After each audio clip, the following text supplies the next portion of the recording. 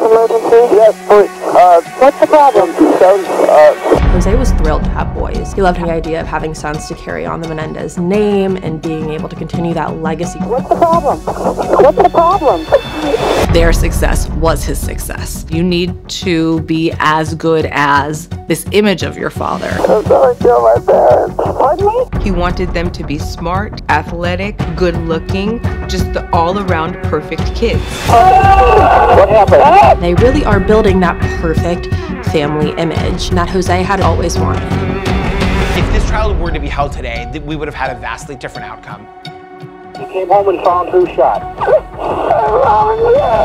Both parents had experienced something called overkill rage and anger that is pent up. Think of your worst horror movie and multiply that 10 times. This was something that didn't happen in perfect, prestigious Beverly Hills, California. Every time we wanted to talk to them, they were not available. They didn't see any other way out. If I stand up to him, is he going to kill me? I think he was very hard on them. That's why they blew his brains out.